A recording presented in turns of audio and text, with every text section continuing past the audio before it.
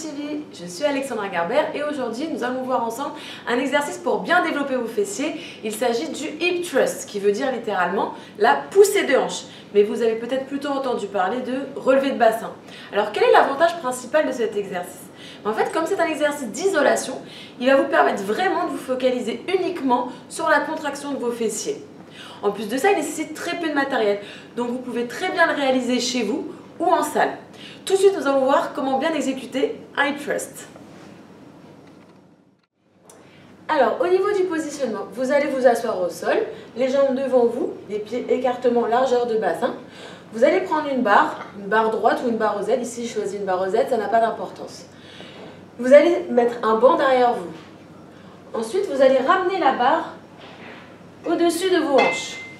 Alors, je vous conseille hein, de mettre soit une mousse au centre, soit une serviette autour de la barre parce qu'avec la charge, ça peut vraiment être douloureux au niveau de votre bassin. Ensuite, vous allez coller vos omoplates sur le sommet du banc. Vous allez ramener les pieds de sorte à ce que vos cuisses et vos mollets forment un angle de 90 degrés. La position de départ, vous allez vous relever légèrement sur le banc de sorte à ce que vos fessiers soient légèrement décollés du sol. Pendant tout l'exercice, vous allez bien veiller à garder la tête dans l'alignement de la colonne vertébrale et les omoplates bien collées sur le banc puisque ce sont elles et vos pieds qui vont assurer la stabilité de votre corps. Alors, au niveau de l'exécution, vous allez pousser sur vos pieds en montant les hanches le plus haut possible pour avoir une contraction maximale de vos fessiers. Les épaules, les hanches et les genoux sont dans le même alignement et vous allez revenir à la position initiale sans que les fessiers ne retouchent le sol. Dès que vous allez amorcer la montée, pendant toute la phase concentrique, vous allez serrer un maximum les fessiers et contracter le plus fort possible en arrivant en haut. Voilà, on serre, on commence, on serre, on serre, on serre, et on monte le plus haut possible pour contracter vraiment le plus fort possible. On expire. Et on revient en inspirant.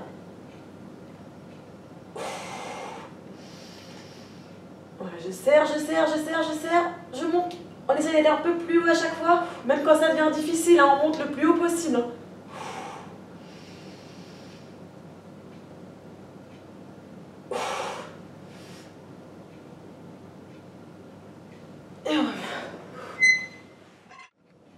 Et voilà qui conclut la démonstration technique du hip thrust. Hein.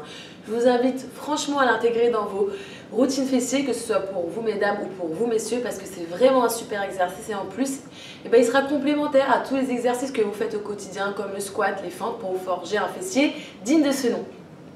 Si vous souhaitez bénéficier de coaching à distance hein, pour hommes ou pour femmes hein, en termes de plan alimentaire personnalisé ou de plan d'entraînement, je vous invite à aller sur le site enzocoach.fr. Je tiens également à remercier mon partenaire MyMuscle pour leur confiance. Je vous invite à aller visiter leur site de compléments en ligne. Ils proposent vraiment des compléments de super qualité à des prix vraiment exceptionnels. Et en plus, vous bénéficiez d'un code de bienvenue de moins 20% sur votre première commande avec le code qui s'affiche dès à présent. Et ensuite, vous aurez un code permanent de moins 10% pour toutes vos autres commandes avec le code là.